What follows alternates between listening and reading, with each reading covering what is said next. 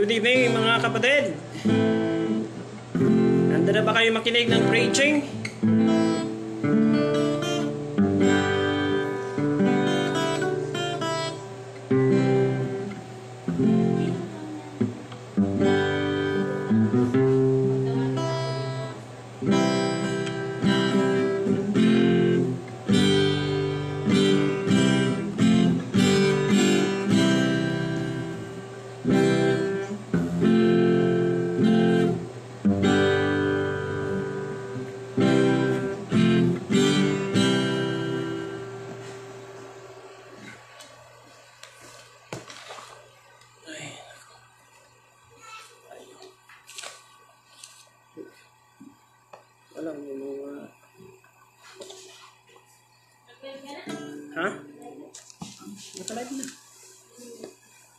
Na oh.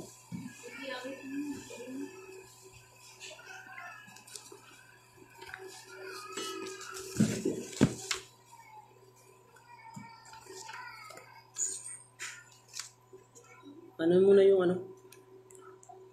Yung pintuan dyan kasi baka may pumasok.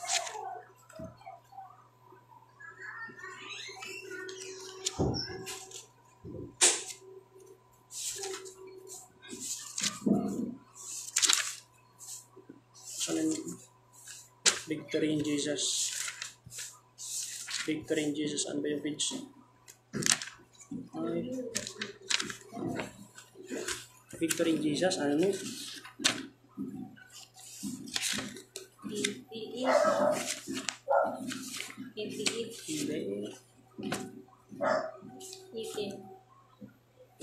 Glory na lang.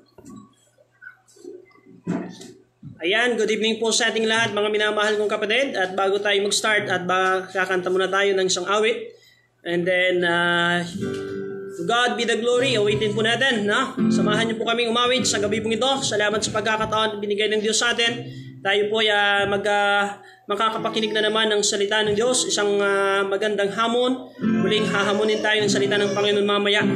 So, awit tayo ng victory in Jesus. Awitin po natin muna. Uh, to God be the glory. By the way, to God be the glory. God be the glory.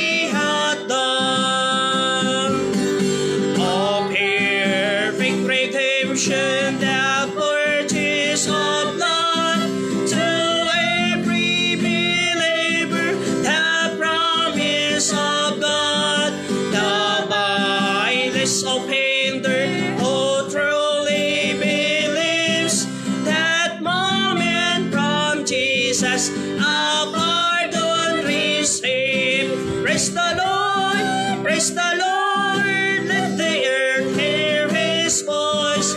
Praise the Lord, praise the Lord, let the people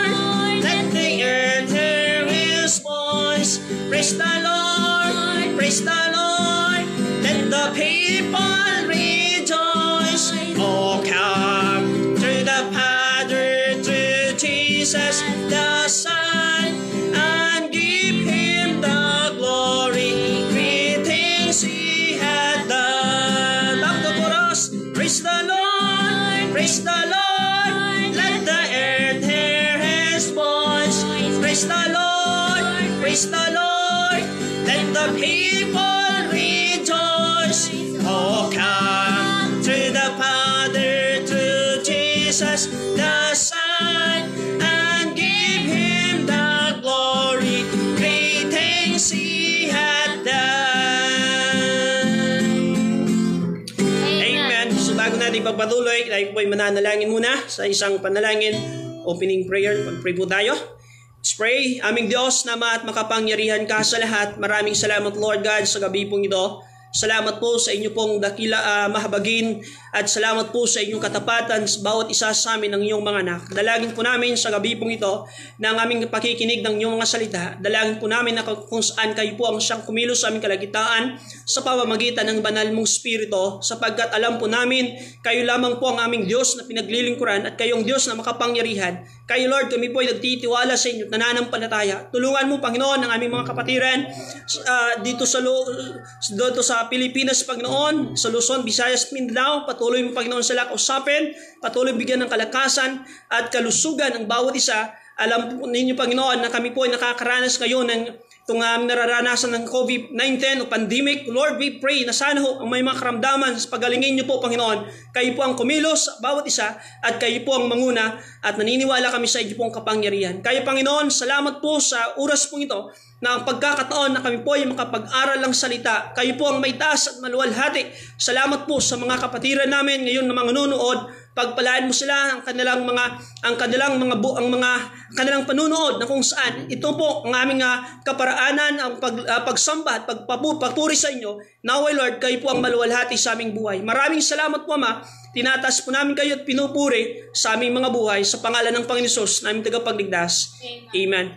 So maraming salamat po at sa uh, oras po ito bago po ako at uh, mag-preach po at isa pong uh, uh, message o kanta na ating mapapakinggan nagmumula po sa aking mahal, mahal na sawa at maghahandog po siya ng uh, bahagi na kung saan at napakagandang awitin at sabi nga niya, niya mamaya is uh, wag na lang po ninyo pakinggan ang kanyang boses, pakinggan na lang po ninyo ang uh, mensahe ng kanta ng kanyang awitin. Kaya po, sana ho ito ay uh, isang uh, bahagi sa ating pananambahan is ito po ay uh, uh, maging uh, pagpapala sa mga nakikinig o sa mga manunood sa gabi pong ito. So kayo po, tawagin ko po ang aking misis para umawit po siya ng isang kanta sa gabi pong ito.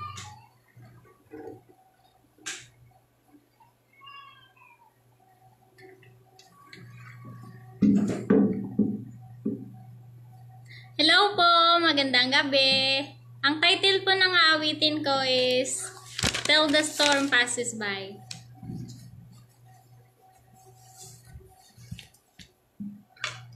In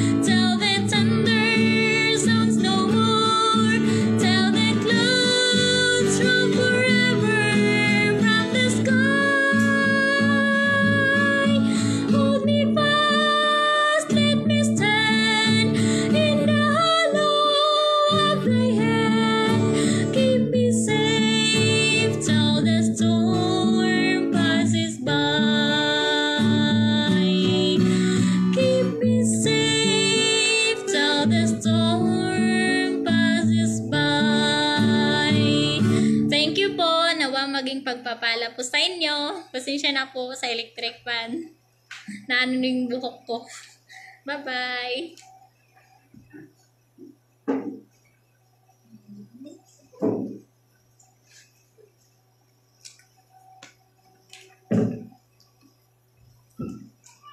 Ayan, so magandang gabi po ulit. Bago tayo mag-start din sa pangangaral at makinig tayo ng preaching sa pangawit, 152 Station Suite Tutas in Jesus. Awit po din tayo para maganda po, ano, gandang spirito pag once na umawit. Salamat po sa minsaheng ganda. Salamat po kay Sister Jillian sa mahal kong asawa. Talagang uh, siya po ay uh, very supportive sa ministry. At uh, simula noon hanggang ngayon, at uh, kami biyaya ng Panginoon. Kaya po, awit po tayo, taste so sweet to trust in Jesus. Hindi tayo magdadagal. Makikinig na po tayo mamaya. At ito ay uh, isang awit na lang po para maganda po ang ating uh, uh, pakikinig ng preaching, salita ng Panginoon.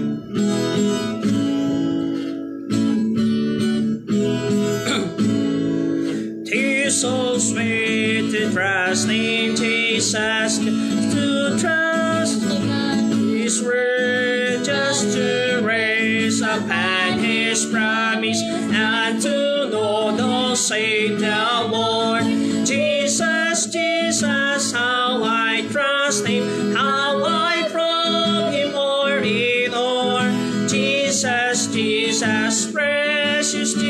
Jesus, all for grace to trust Him more.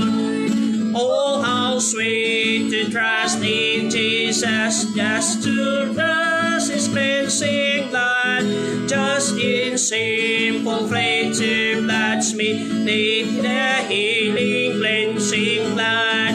Jesus, Jesus, how I trust Him, how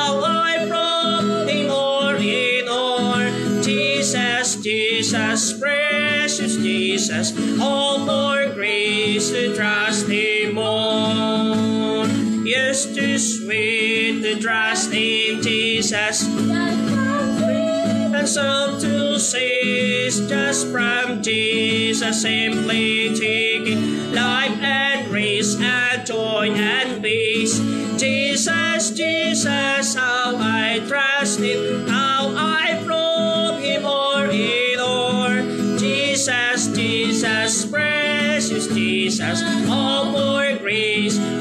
trust more.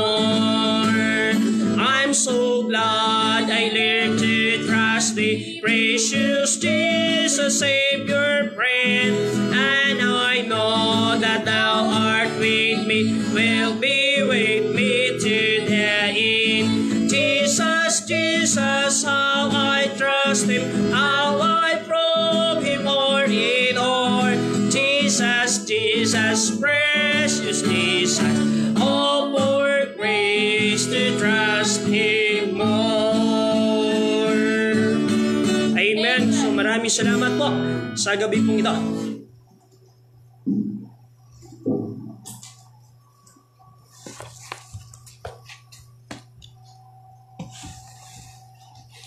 Uh, by the way, magandang gabi po sa ating lahat, mga minamahal kong kaibigan, mga kapastoran, at mga, mga missionaries, at uh, kasi kung missionary, magandang, gabi po sa inyong lahat. Pasensya na po kayo kasi hindi ako sana mag uh, ganito, mag-live, uh, live, uh, live stream. At uh, ito ay first time na aking ginawa. Ang ginagawa po namin ng, sa biyaya ng Panginoon dito sa church po, sa mission po ng New Life Baptist Mission, Magan, Pasig City, kami po ay mga kapatid ay uh, kung saan through meeting Zoom, sa Zoom lang po kami. Hindi po ako saan yung nagla-live sa pub, sa public, no?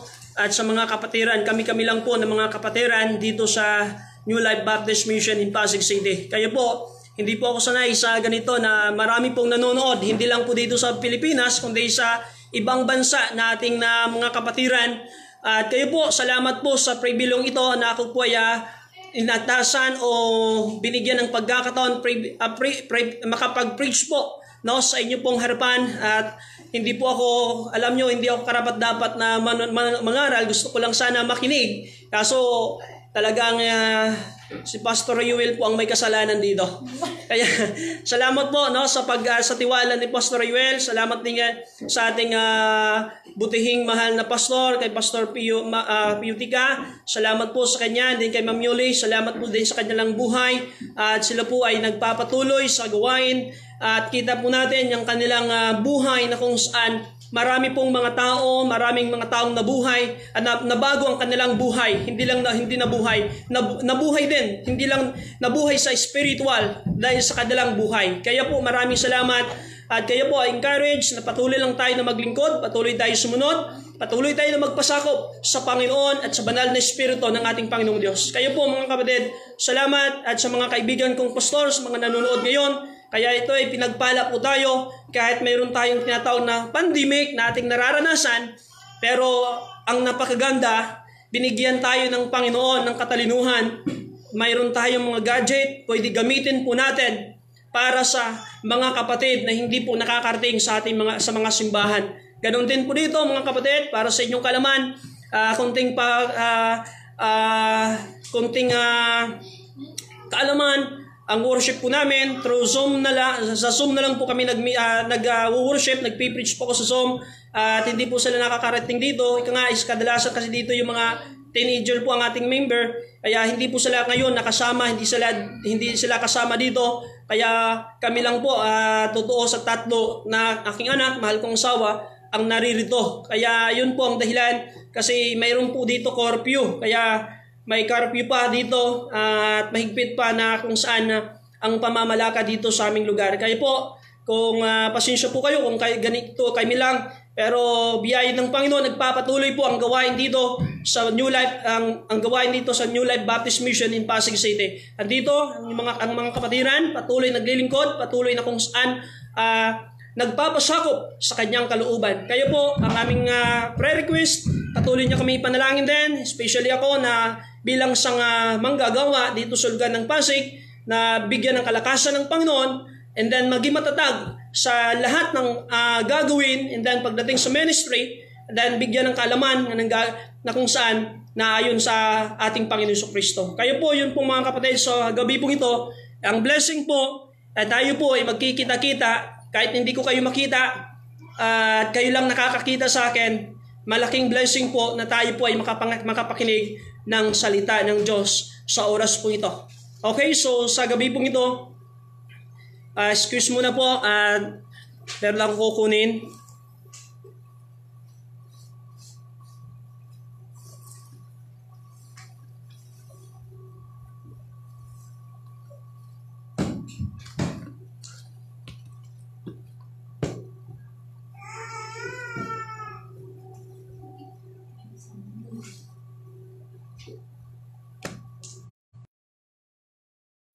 Babalik na po.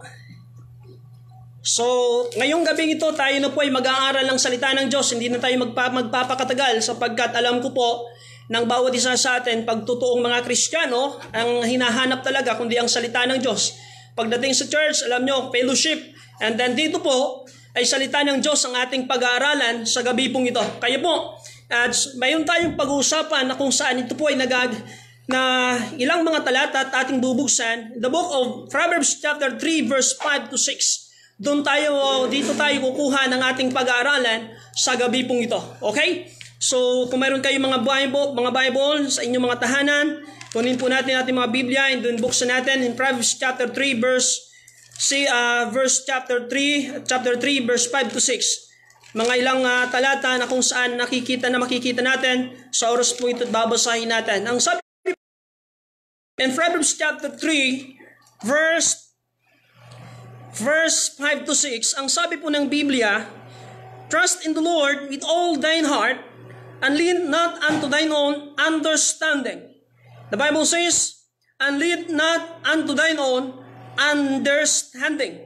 In all thy ways acknowledge Him, and He shall direct thy paths. Tayo po ay manalangin bago tayo mag-discuss po at pag-usapan ang salita ng Diyos. Let's pray. Aming Diyos, dakila ka sa lahat. Pinupuri namin kayo at pinapasalamatan sa pagkakataon pong ito. Salamat po sa inyo pong dakilang biyaya. Salamat po sa inyong dakilang pagmamahal. Tulungan mo, Panginoon, ang bawat isa sa amin. Now, O Lord God, itong aming nararanasan ng pandemic, alam po namin na ito po ay uh, kung saan na uh, may alam niyo, Lord, ang nangyayari sa aming kapaligiran. Lord, tulungan mo ang mga tao na kung saan apektado nito. Patuloy mo sila pagalingin. At yung mga kapastoran na mayroon hong na- naapektuhan sa ganitong klaseng virus, dalangin ko, Panginoong Diyos, sila po ay pagalingin niyo po. Lord God, we Dulangin ko, kayo pong kumilos sa kanilang buhay. Salamat po sa mga kapatiran nga dito na manunood at makikinig ng iyong salita. Pagpalaan mo sila, patuloy mo sila bigyan ng lakas din. At yung malakas na kapangangatawan, malakas na inyong system. Lord, kayo pong kumilos sa kanilang buhay. Maraming salamat po. Sa pag-aaral namin ng iyong salita, bigyan mo din ako ng katalinuhan, karunungan ang nanggagaling sa inyo. Kayo po ang kumilos sa aking buhay at magsalita, hindi po yung sarili ko Tulungan mo, Panginoon, ang manunood sa Luzon, Visayas, Mindanao, maging sa ibang bansa. Pagpalain mo sila at maging pagpapala ang iyong salita sa mga sa inyo pong mga mahal na anak. Maraming salamat po sa gabay pong ito. Ito po aking dalangin sa pangalan ng Panginoon Jesus na ating tagapagligtas. Amen and Amen. So ngayon po, magandang gabi po sa ating lahat at akbay dawi sa mga hindi pa nakakakilala sa akin. Ako po si Pastor Rogel Doctanan, missionary pastor po at ang sending church po namin at galing po ako sa Western Samar. Galing po si ang aking po senior pastor, walang iba kundi si Pastor Albino Baan. At yun ay nakaka, nakakatuwa kasi hindi po ako ganito kung wala akong pastor talaga nagpastor sa buhay ko. Kaya yun, kaya kung bakit ako ganito, at uh, dahil po may nagpastor, dahil may, may nagtyaga, mayroon hong uh, kung saan uh, nagturo talaga. Kaya yun po ang uh, buhay ko. Salamat at ako ay ngayon nandito ginagamit ng Diyos dito sa New Life Baptist Mission Pasig City sa biyaya ng Panginoon. Kaya po ang gawain ministry dito is nagpapatuloy dahil sa kanyang dahil sa sinimula ng ating Panginoong Diyos. Kaya po ngayong pong gabi tayo po ay uh, binasa natin ang salita ng Diyos. Patungkol po dito ang ating pag-aaralan, making wise decision. Okay? Making wise decision. Ang pag-aaralan natin ngayon, making wise decision. Paano nga ba gumawa ng decision na kung saan ang decision na ayon sa salita ng Panginoon? Yun po ang ating pag-uusapan. Yung tamang decision. Kasi po mga minamahal kong kapatid, marami po tayong mga, marami sa panahon natin ito, na pagdating sa decision, doon tayo nagkakaroon ng problema.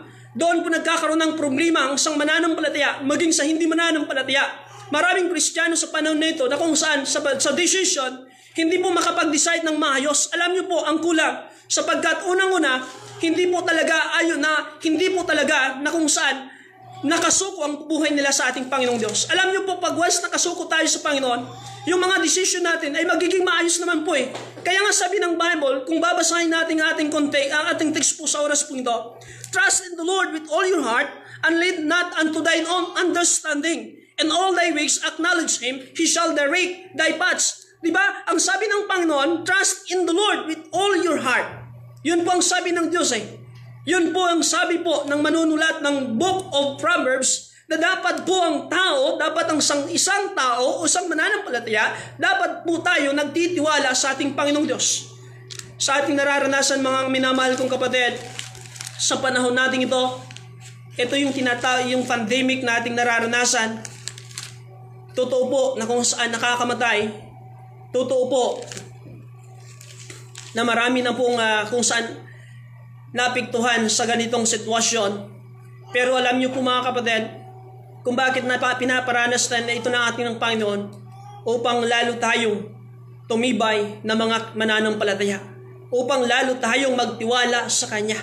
Kasi po alam niyo ang COVID-19, pwede tayong mamatay sa ating physical. Pero the virus can only affect the body but it cannot affect your soul.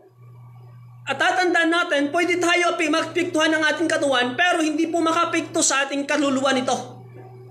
Una-una, ligtas na po tayo. Una-una, mayroon tayong langit na bayan na pupuntahan.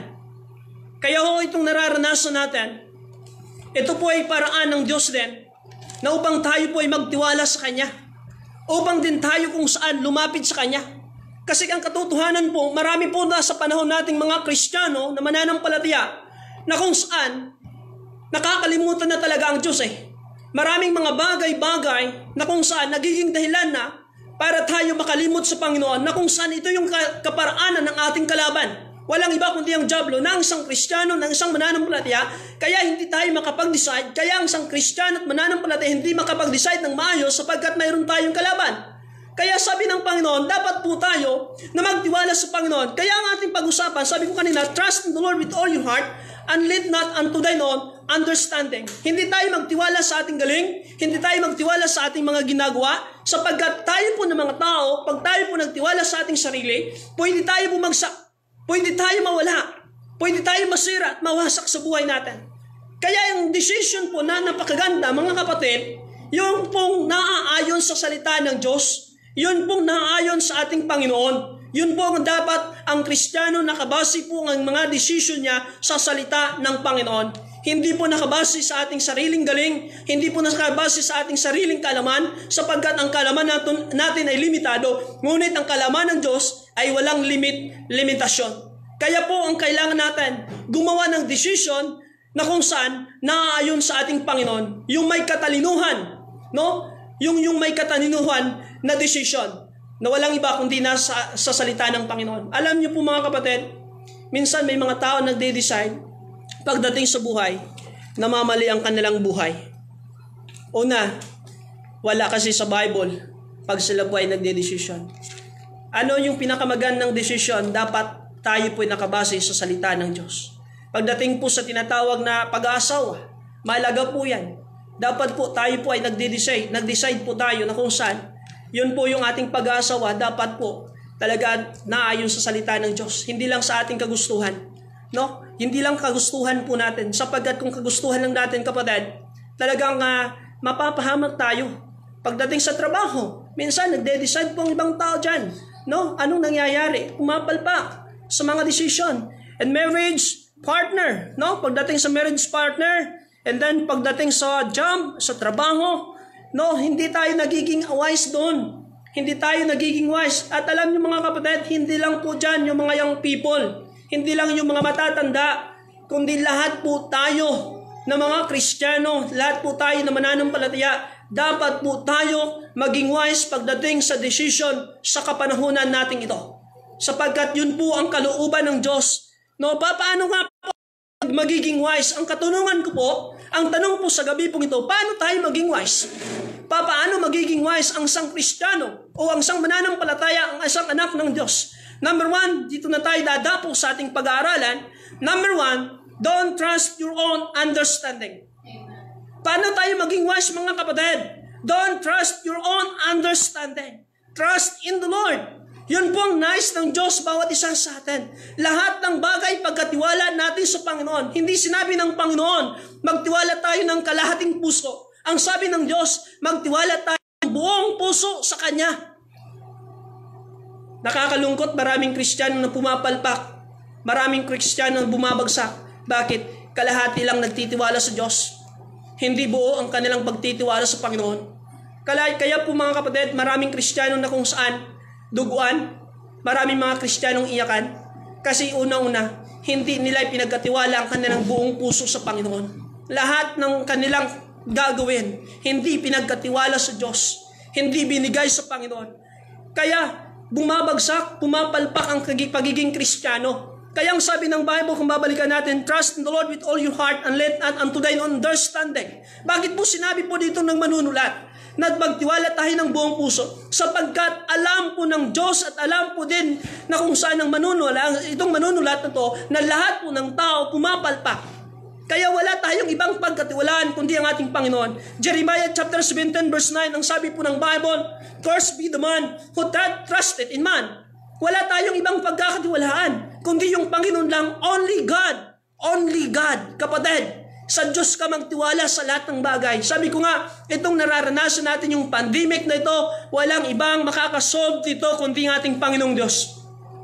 Alam po natin, marami na po ang nangyari at ginawa ng ating Panginoon ng mga milag milagro, miracle, nung panahon po, nung panahon ni Jesus Christ dito sa lupang ito. Eh bakit hindi tayo magtiwala sa Kanya? Ang tanong, hindi ba kaya ng Diyos gawin, gawin din ngayon ito? Hindi ba kaya ng Diyos gawin ang lahat? Yung, eh, patigilin ang ganitong sitwasyon natin nararanasan? Alam niyo kung mga kapatid, tiwala po ang kailangan natin sa Panginoon. Kaya kung bakit tayo, sabi ko, pumapalpak sapagkat ang tiwala natin, hindi natin nilalagak sa ating Panginoon. Minsan sa ibang bagay tayo nagtitiwala. Minsan sa mga bagay nakikita. Dapat hindi tayo magtitiwala sa mga bagay sapagkat sabi ng Biblia, kung ang, ta- kung ang tao magtiwala sa tao, eh susumpain po tayo. Kung na hindi mo gusto sumpain ng Panginoon, kapatid, gusto ng Diyos na ikaw ay pagpalain, gusto ng Diyos na ikaw ay kung gusto mo pag uh, i-bless ng Panginoon, dapat sa Diyos ka magtiwala. Don't trust your own understanding, kapatid. Sabi niya, because mag number one, letter A at makita, we need to acknowledge God in all our ways through prayer. Because His promise has promised to lead His people. Because He has promised to lead His people. Kapatid, tatandaan natin, Huwag tayo magtitiwala sa ating sarili. Trust in the Lord. We need to acknowledge literally God in our all, God in all our ways through prayer. Sa panalangin, bakit tayo nagnananalangin? Bakit tayo nagpipray? Sapagkat ina-acknowledge natin ng Panginoon sa buhay natin. Kumusta tayo kapatid sa ating pagdating sa panalangin? Baka ang ating panalangin hindi na natin minsan, Diyos, nakaka, nakakalimutan na natin ng Panginoon minsan sa buhay natin. Baka itong, pan, itong pandemic na ito naranasan natin, gusto lang ng Panginoon gisingin ang mga mananampalataya. Gusto ng Diyos gisingin ang mga Kristiyano sapagkat marami ng Kristiyano sa panahon na ito natutulog sa paglilingkod. Hindi na gumikilos, hindi na gumagawa. Iba na nagiging uh, kung saan nagiging uh, kanila direction ng kanilang buhay. Kaya ang gusto ng Panginoon na ikaw at ako gisingin, mga kapatid. Gisingin. Kumusta ang prayer natin? We need to acknowledge God in all our ways through, through prayer because He has promised to lead His people. Nangako ang Panginoon sa atin. Hindi kanya bababayaan, kapatid. Ililid ka niya, tutulungan ka niya. Kaya ang kailangan ng Panginoon, ang kailangan ng Diyos, bawat Kristyan at mananampalataya, dapat po tayo kung saan magtiwala sa ating Panginoong Diyos. Making wise decision. Papaan ng katalinuhan. Number one, don't trust your own understanding. Letter E, letter B natin nakita, we need to acknowledge God in all our ways through consulting the Bible.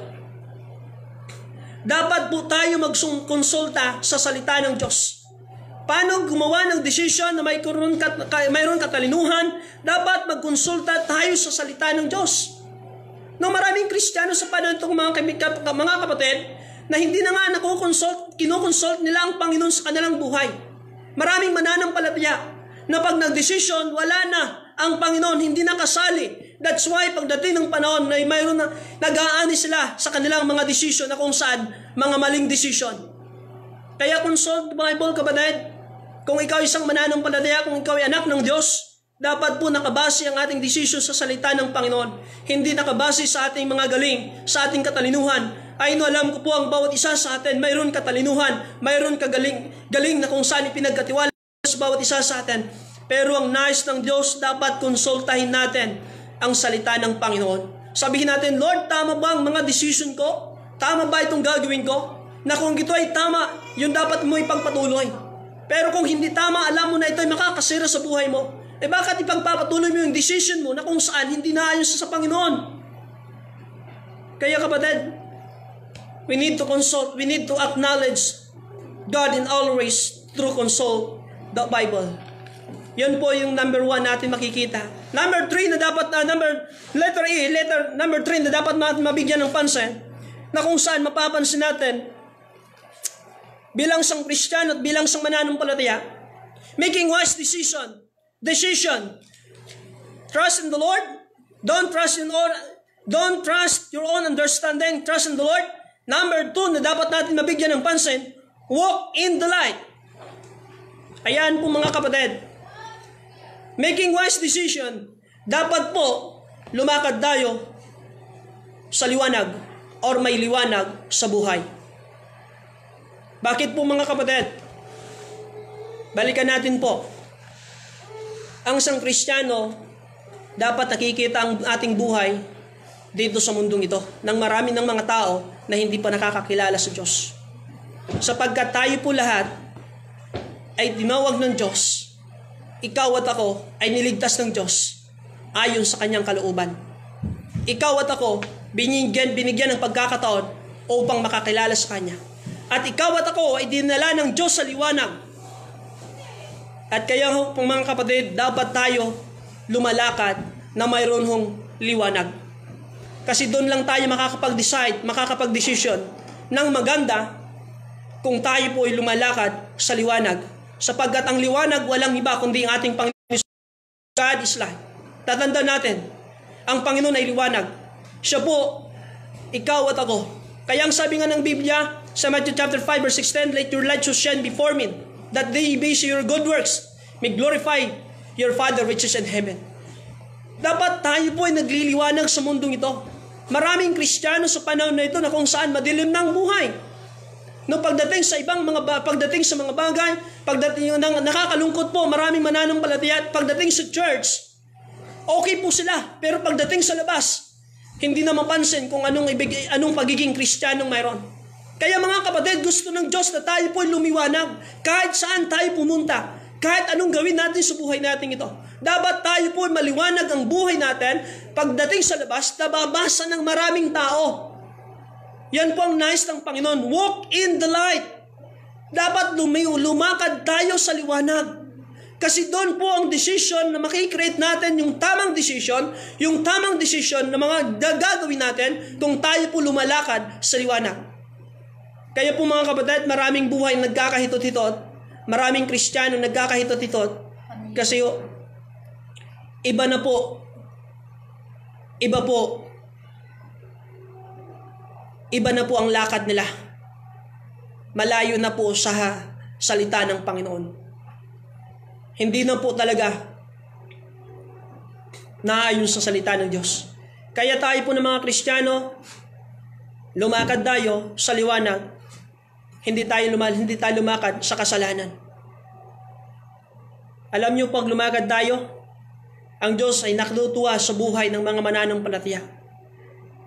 Walk in the light because to walk in sin is to work in to walk to walk in darkness. No, it is hard hinders the spiritual living and thinking. 1 Peter chapter 2 verse 11. Ito po ay nakakahadlang sa ating paglago at sa ating ginagawa bilang isang Kristiyano. Kung ang sang mananampalataya ay hindi lumalakad ayon sa liwanag, alam niyo ho, mahirap po tayo, mahirap po mabasa ang buhay natin kung tayo po ay mananampalataya. Walk in the light, kapatid. Nais ng Diyos na tayo po ay lumakad sa liwanag sapagkat yun po ang nais ng Panginoon na tayo po ay gamitin ng maraming tao na hindi pa nakakakilala sa Kanya. Making wise decision. Ang decision na kung saan naayon sa Panginoon. Yun ay tatanda natin. Trust in the Lord in all your heart. Magtiwala tayo sa Panginoon. Walk in the light. Sapagkat ang Diyos po ay liwanag, dapat din ang mga mananampalataya maliwanag din ang buhay ng bawat isa sa atin. Letter Because to walk in insane is to walk in darkness and it hinders the spiritual living and thinking. Yun ang tatandaan natin. The Bible warns that the, the, the backslider will be filled with his own ways rather, we, rather than with the ways of the, of the Lord. Proverbs chapter 14 verse 14. Ang sabi ng Bible, Proverbs chapter 14 verse 14, The backslider in heart shall be filled with his own ways. Wala ho ang iba, walang ibang ginagawa ng isang isang tao hindi lumalakad sa harapan ng Panginoon sa liwanag. Kundi, ang kanyang ginagawa, sinasatisfy niya ang kanyang sarili. Mga kapatid, nais ng Panginoon na tayo po lumakad na mayroon liwanag sa harapan ng Panginoon. Trust in the Lord. Sabi ng Biblia, huwag, kayo mag, huwag tayo magtiwala sa ating mga ginagagawin sapagkat in all thy ways acknowledge Him, He shall direct thy paths. Idadirect tayo ng Panginoon. Number three, na dapat natin pansinin sa buhay natin, making wise decision, paano gumawa ng mga decision ng tama sa, pang, sa Panginoon. Do not make any decision that would cause you to disobey the Bible.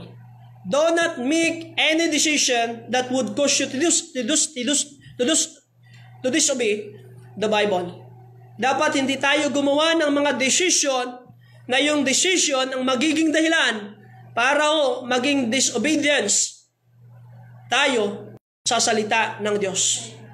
Dapat sa salita ng Diyos. Ayon po sa ating pinag-aaralan. Hindi po decision. Kasi pag nag-decision po tayo kapatid, pag hindi po nakabase sa salita ng Diyos, ibig sabihin, kinukontra natin ang salita ng Panginoon. Pagdating sa mga decision kapatid, dapat ang sang tao, ang sang mananampalataya, para sa inyong kalaman, maging wise po tayo sapagkat ang nais ng Diyos ng mga Kristiyano, ng mananampalataya, lumalakad sa liwanag at tayo po ay sumusunod sa salita ng Diyos. Ayaw ng Panginoon ng isang Kristiyano at mananampalataya na tayo po ay disobedience. Kapatid, nais ng Panginoon na tayo po ay maging masunurin sa kanyang kalooban. Kaya nga sabi niya dito, kung mapapansin natin sa John chapter 8 verse 32 and 30, 30, 31 to 32, anong sabi niya? Na ang isang tao nakalam ng katotohanan at ang katotohanan na magpapalaya sa kanya. Alam na natin ang katotohanan. And he shall know the truth and the truth shall make you free. Malaya ka na kapatid. Malaya ng bawat isa sa atin. Kaya kung ikaw at ako'y babalik sa dating buhay, eh talagang mahihirapan tayo. Mahihirapan ang mananampalataya kung tayo po babalik sa dating buhay. Don't make any decision that would cause you to disobey the Bible. Letter A na dapat natin pansinin bilang sang mananampalataya. Ano pong ibig sabihin nito? This is, this is what it means to live by faith and living by faith is simply to, be, to believe that only be, and obey His word. Romans chapter 10 verse 17. Yun po ang consider natin. Let us consider some example The Bible says that do not accurate with evil, with idolatry. 1 Corinthians chapter 15 verse 33 and Romans chapter 12 verse 1 and 12. 12 and 1 to. Makikita natin doon. Nang sinabi ng Biblia, dapat hindi tayo nakikisama, nakikihalubilo ng mga hindi mananampalataya. Be not conformed to this world, but be it transformed by the renewing of your mind. Yun po ang nais ng Panginoon kapatid. No, sa mga decision, kung lalabag tayo sa salita ng Diyos, dapat konsultahin natin ng, ang Panginoon sa buhay natin. The Bible says, do not neglect the church. Sabi niya, do not neglect the church. And Hebrews chapter 10 verse 25. Maraming Kristiyano, minsan pagdating ng Sunday, pina, kung saan iniiwan ng Sunday, pinupuntahan ang mga bagay-bagay, pinagpapalit ang pagdating sa Panginoon, ang mga bagay-bagay sa mundong ito. Kaya nga sabi ng Panginoon, dapat hindi tayo makisa, makisi, ma, makiayon. Yun po ang nice ng Diyos bawat isa sa atin. Dapat hindi tayo nakikiayon. Be not conformed to this world. Nakikiusap si Apostol Pablo mga kapatid. Do not neglect the church. No? Minsan mga kapatid nakakalungkot maraming Kristiyano dahil malaking sweldo pagdating sa Sunday pupunta, magtatrabaho. Kasi dahil sa pera, pag ang Sunday, naiiwan na. Pagdating sa ministries, nakakalungkot, maraming mga mananampalataya ng ministry, nakakalimutan na na ipagpapalit na yung mga bagay-bagay. E dapat mga kapatid, ang ministry, una po sa lahat ng bagay kaysa yung mga bagay sa mundong ito.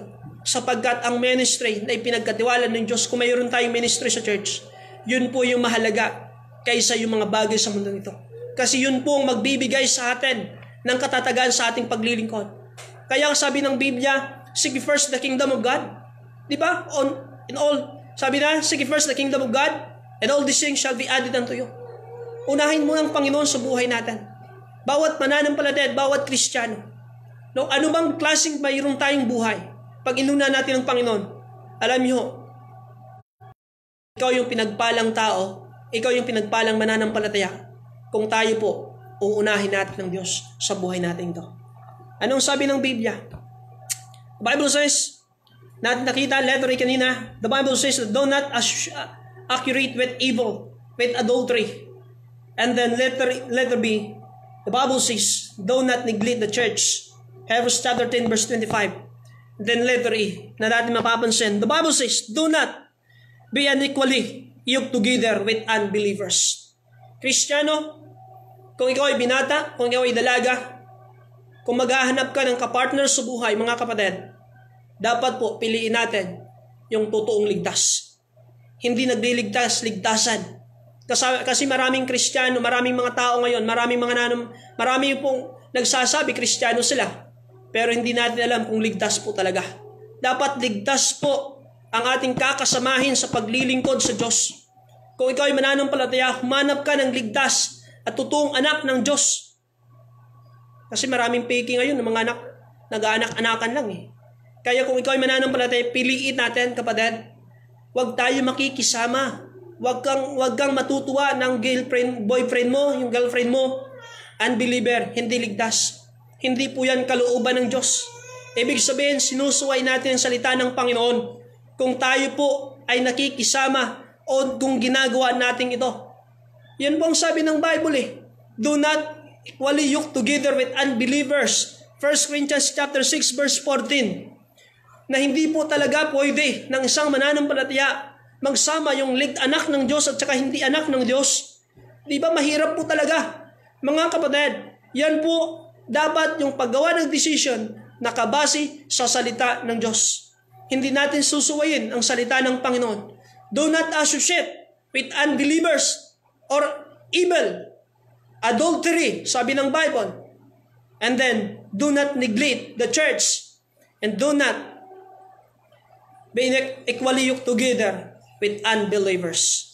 Mga kapatid, yun po yung napakaganda na kung saan mabigyan natin ng pansin sa buhay natin. Making wise decisions simply means the child of God will not do anything contrary to God's word. Simple lang. Kung tayo po ay gumagawa ng decision, napakasimple. Ibig sabihin nun, hindi natin kukontrahin ang salita ng Panginoon. Nung kung gumagawa tayo ng mga decision na wala, ibig sabihin, hindi lahat, hindi, hindi ayon sa salita ng Panginoon, labag sa salita ng Panginoon, kinukontra natin ang salita ng Panginoon. If we disobey the, Bible, don't expect God's blessings. If we, if, if we disobey the Bible, don't speak, speak God's blessing. Kapatid, tatandaan natin, kung tayo po ay dinidisobey natin ng salita ng Diyos, hindi natin sinusunod ang Biblia, huwag tayo mag-expect ng pagpapala. Huwag tayo, mga kapatid, a umasa na may pagpapala na mangyayari at darating sa buhay natin. Ang blessings po mga kapatid na maganda, tatandaan natin, ay nanggagaling sa ating Panginoong Diyos. Dalawa lang nung nagbibigay, nagbibigay ng prosperity sa mundong ito. Ang Diyos at ang Diablo. Ngayon kung pinagpapala ang isang tao na wala sa Diyos, ibig sabihin hindi yan sa Diyos pagpagaling. Kung pinagpapala ka, naglilingkod ka sa Diyos, nagiging tapat ka sa Diyos, tumutulong ka sa gawain ng Panginoon. Amen. Ibig sabihin, yun po yung pagpapala na nanggagaling sa Diyos. Magal, masarap pinapagpalain ng Panginoon kung ikaw at ako sumusunod sa kalooban ng Panginoon. Sabi ng Bible sa James chapter 4, 1 verse 17, dito tayo magtatapos na po. At uh, sa ating conclusion po sa James chapter 1 verse 17. Ano pong sabi ng Biblia sa James chapter 1 verse 17? The Bible says, ito po ay napakasarap na pagpapala na kung saan matitikman natin sa galing sa Panginoon. Sabi po ng Bible, sa James chapter 1 verse 17, every good gift is every good gift and every perfect gift is from above and cometh down from the Father light, with whom is no variableness, neither shadow turning back.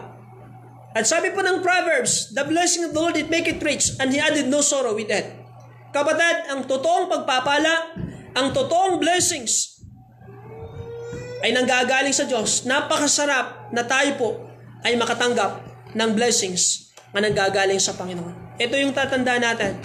Making wise decision, kapatid, making wise decision, don't trust your own understanding. Trust in the Lord.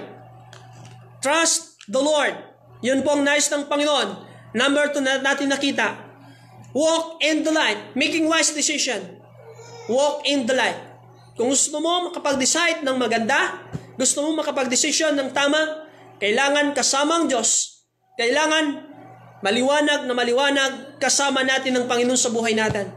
Kasi natitiyak ko po na kung maliwanag po at kasama natin ang Panginoon sa buhay natin, tsak ang lahat ng decision na mayroon tayo na gagawin tayo natin ay tiyak na magtatagumpay.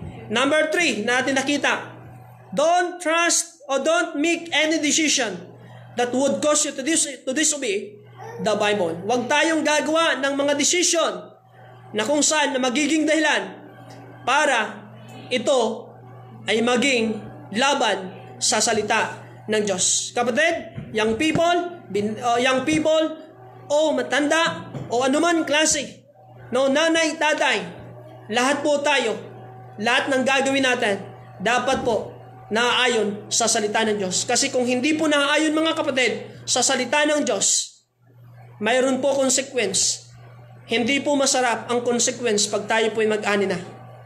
Palagi natin tatandaan, masakit po. At palagi natin tatandaan, kung labag ang mga desisyon natin sa salita ng Diyos, huwag tayo aasa na may pagpapala na dating sa buhay natin na maganda. Mga kapatid, sa gabi pong ito, sana po ang mensahe na kung saan napaka iksing mensahe sa gabi pong ito. Sana nabigyan natin ng pagkakataon at pansin. Salamat po sa inyong uh, pakikinig at salamat po sa inyong panunood. Salamat po sa oras na ibinigay nyo. Naway pagpalain po kayo ng Panginoon sa oras pong ito. Kapatid, ngayon po, ang tanong ko, kumusta po tayo? Kumusta po yung mga decision natin bilang isang mananampalataya? Nakabase pa ba sa salita ng Diyos? After this pandemic, itong pandemic na ito, kumusta po? Ano ang plano natin? Yung dati ikaw, mayroon tayong uh, hindi tayo naging matapat, yung dating ikaw, na kung saan marami tayong nagawang kapalpakan. Nung dating ikaw, nung wala, mara, wala tayong time pagdating sa salita ng Diyos, kumusta tayo sa ngayong pandemic na ito? Mayroon ba tayong ginagawa pagdating sa Panginoon? Marami ka bang time pagdating na sa Panginoon? Kapatid, kumusta ka? Anong napagdesisyonan mo sa itong pandemic na ito?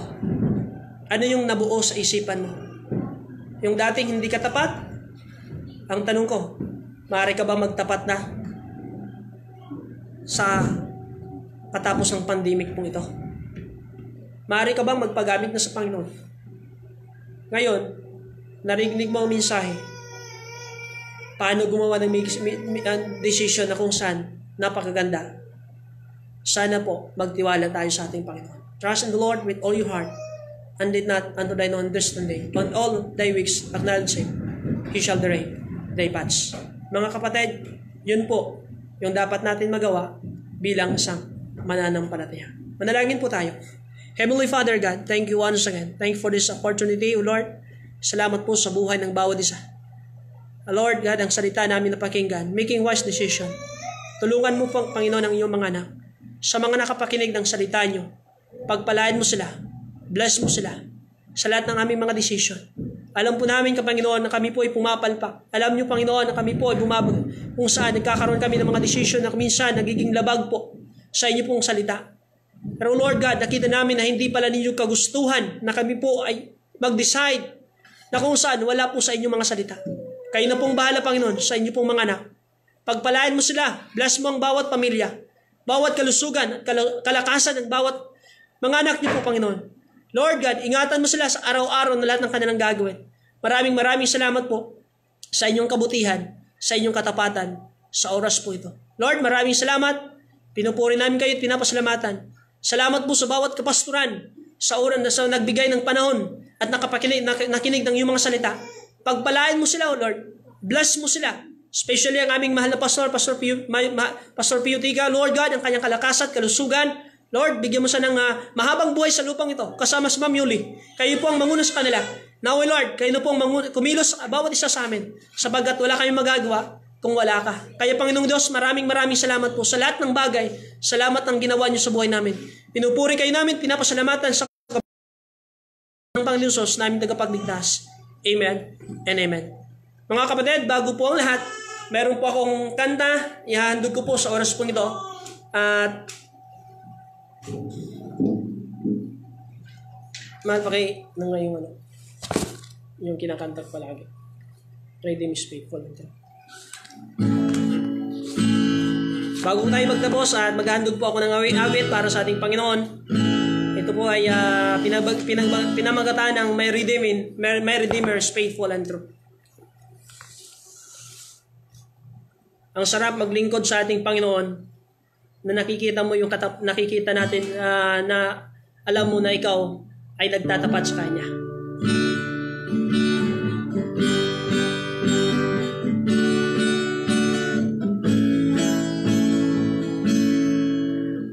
As I look back on this I traveled, I see so many times it's carried me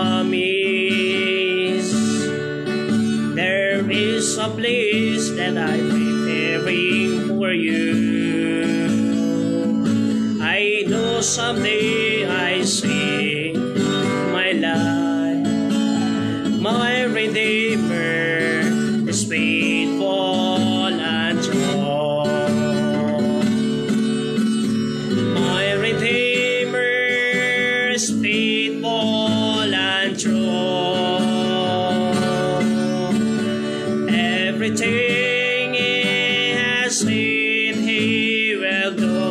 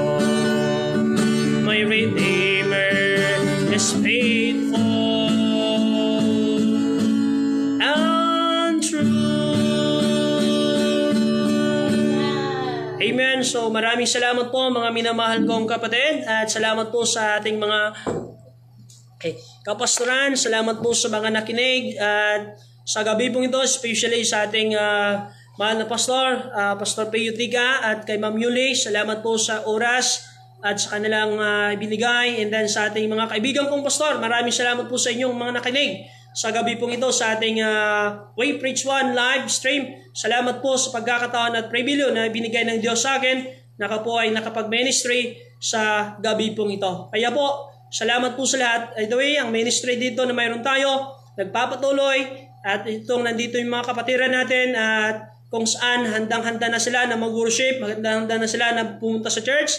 But sabi ko, hindi po muna tayo, at hindi muna tayo mag, uh, magkakandak ng worship sapagkat uh, ika nga, iniwasan natin talaga kailangan maging safety po ang bawat isa sapagkat mayroon tayong mga matatanda, mayroon din tayo mga kapatiran na kung saan malalayo, and then ika nga, hindi pa dito talaga masyado na kung saan nagiging clear, uh, at mayroon pang tinatawag na pinagbabawalan pa, no? Makapasok yung mga outsider. Kaya nangyayari, wala muna, through Zoom lang muna, At yun po, sabi ko, taste lang muna tayo hanggang na maging maayos na ang ating panahon. Kasi hindi, mahirap naman po kung ilagay natin sila sa, sa delikado, uh, delikadisa sa bu- ang- yung mga buhay ng ating mga kapatid. Kaya ang gawin na lang natin na sana uh, pag-pray na maging maayos pong lahat at paibalik na po ng normal itong ating nararanasan sa ating kapanahunan. Kaya po maraming salamat po sa bawat isa. Pagpalain po yung mga nanood sa Luzon, Visayas Mindanao, maging sa ibang bansa. Bless po kayo ng Panginoon sa lahat ng inyong mga gagawin at patuloy kayo ingatan, gabayan, proteksyonan sa lahat ng araw at oras at sa lahat ng ating gagawin sa buhay na ito. So sa ating closing prayer, tayo po ay manalangin sa ating pagkatatapos ng ating uh, uh, min, uh, sa ating uh, pakikinig at ating ministry, pag, ministeryo sa oras pong ito. Pray po tayo. Dakilang Diyos, muli kami Lord, nagpupuri at pinapasalamatan namin kayo sa gabi pong ito. Sa aming pagtatapos, tulungan mo Panginoon ang aming kapatiran. Yung mga kapatiran namin na nanghihina, yung mga kapatiran namin na kung saan, nang lulupaypay sa paglilingkod. Aking dalangin ang banal mong spirito ang siyang manguna sa kanila. Kausapin mo sila sa pamagitan ng banal na spirito. Palakasin mo Panginoon sila. Empower mo sila Lord God. Alam po namin na kayo ang Diyos na makapangyarihan. Pinapasalamatan na, namin kayo, Panginoon, sapagkat tunay po kayong Diyos na makapangyarihan. Lord, tulungan mong mga kapatiran namin sa kanilang bawat tahanan, bawat pamilya. Pagpalain mo sila. Pagdating sa kanilang mga financial. Lord, i-bless mo, Panginoon. Patuloy kayo po pag-supply sa lahat ng pangangailangan. Sa mga kapatiran namin na kung saan ngayong gabi nakakaranas nila ng tinatawag na karamdaman sa kanilang physical na katawan. Lord, pagalingin mo, Panginoon, sila sa pamamagitan ng banal mong Espiritu. Kayo po ang manguna at kumilos sa kanilang buhay sapagkat alam po namin kayo po ang doktor sa lahat at makapangyarihan. Kaya Lord God, tulungan mo Panginoon sa aming mga kapasturahan, tulungan mo ang bawat isa Naway Lord, kung saan po sila naka-assign o saan po sila dinala nyo na gawain, Lord, naway Panginoon, patuloy na magtapat, patuloy na magpagamit sa iyo pong gawain, tulungan mo sila na kung saan patuloy na kung saan maraming mga ligtas doon sa mga lugar na kung saan sila inilagay niyo, Panginoon. Kayo, Lord God, aming dalangin na kung saan patuloy mo sila alala, alalayan ng bawat isa sa amin. Patuloy mo, Panginoon, bigyan ng kalakasan ng bawat pamilya nila. Yung kanilang mga mahal na asawa at mga anak, naway, Lord, maging mabuting halimbawa, maging nga kung saan makita ng maraming tao na kung saan lumalakad sa liwanag. Kaya, Panginoon, salamat po. Tulungan mo, Panginoon, sila at kayo pong bahala sa bawat isa. Salamat po sa bawat isa nang uh, nag-participate at sa mga nakinig. Bless mo sila at ingatan mo at sa aming pagtulog, gabayan mo Panginoon kami. At naway Lord, maging uh, blessing po ang aming ang pangangaral sa oras po ito sa inyo pong mga anak. Salamat po, pinupuri namin kayo at pinapasalamatan sa gabi pong ito sa pamamagitan ng Panginoon Sos na aming tagapagligtas. Amen and amen. Maraming salamat po and God bless. To God be all the glory Police, Pastor Roger Lakutanan, missionary pastor, galing po sa Western Samar. God bless and to God be the glory. And then, pagbalain po tayo ng Panginoon ng bawat isa.